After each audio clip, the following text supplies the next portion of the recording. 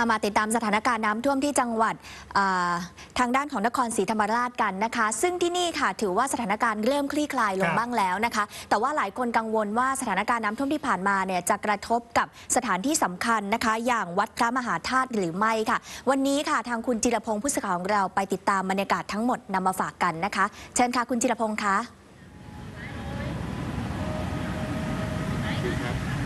สวัสดีครับครับคุณสุตาคุณเจษดาครับ ตอนนี้ผมอยู่ที่วัดพระมหาธาตุวรมหาวิหารอำเภอเมืองจังหวัดนครศรีธรรมราชนะครับ เมื่อเช้าได้ตระเวนสำรวจบรรยากาศรอบๆเมืองนครศรีธรรมราชนะครับ พบว่าตอนนี้สถานการณ์เข้าสู่ภาวะปกติ แล้วก็ในเมืองเข้าสู่โหมดของการฟื้นฟูแล้วครับสถานการณ์ล่าสุดภายในพื้นที่เทศบาลเมืองนครศรีธรรมราช ในช่วงเช้าวันนี้หลังเทศบาลระบายน้ำออกจากพื้นที่หมดแล้วนะครับทำให้วันนี้เทศบาลส่งรถบรรทุกน้ำตระเวนฉีดน้ำล้างถนนตามซอกซอยต่างๆ เพื่อชำระล้างคราบโครนดิน ตะไคร่น้ำบนหน้าผิวการจราจร เพื่อความปลอดภัยในการใช้รถใช้ถนน รวมทั้งส่งเจ้าหน้าที่ตรวจสอบไฟฟ้า ไฟส่องสว่างภายในเมือง เพื่อให้ใช้การได้ตามปกติ และเพื่อตรวจสอบไฟรั่วด้วยนะครับ แต่แม้ว่าน้ำในเทศบาลจะแห้งหมดแล้ว แต่ก็ยังมีภาพของความเสียหายให้เห็นอยู่ตลอดเส้นทาง บางบ้านยังไม่เก็บกระสอบทรายออกจากหน้าบ้าน เครื่องสูบน้ำขนาดใหญ่ของเทศบาลและกรมชลประทานยังคงติดตั้งตามจุดสำคัญ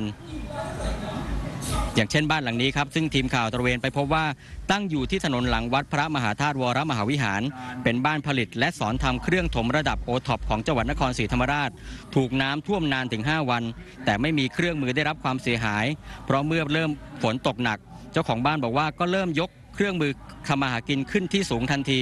และน้ำท่วมรอบที่ผ่านมา ไม่หนักเท่ากับน้ำท่วมเมื่อรอบต้นปีที่ผ่านมาครับ ไปฟังเสียงของเจ้าของบ้านครับเนี่ยเนี่ยครับ เนี่ย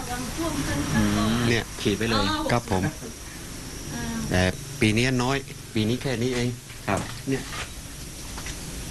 เนี่ยผมขีดไปอืมไว้แค่นี้เองครับ ผมจะขีดไว้หมดเลยครับก็ยังถือว่าว่าไม่หนักเท่าครับต้ผนมปีใช่ไหมฮะไม่พอฝนตกหนักมันก็ต้องยกแล้วครับอืมมันไม่แน่พอดีน้ำน้ำทางเหนือมันมาด้วย ไอ้น้ำทางเหนือน้ำคีรีวงศ์อะครับอืมแล้วยกทันไหมครับพี่เที่ยวนี้ทันครับทันทุกอย่างเลยทันหมดครับอืมก็คือเจ้าเพียงแค่ไม่เข้ามาครับเก็บกวาดครับแนั้นผมเองมาเก็บกวาดแค่นั้นเอง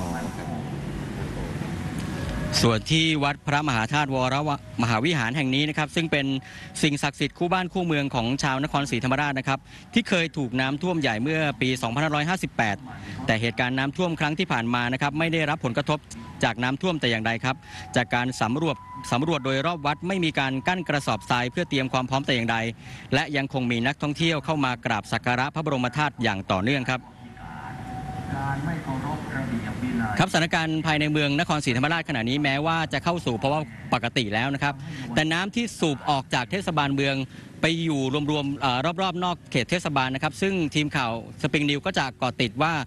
ตรงใดอ่าตรงไหนบ้างนะครับ ที่มีน้ำท่วมก็จะรายงานกลับไปให้ทราบครับ ตอนนี้กลับไปที่สถานีครับ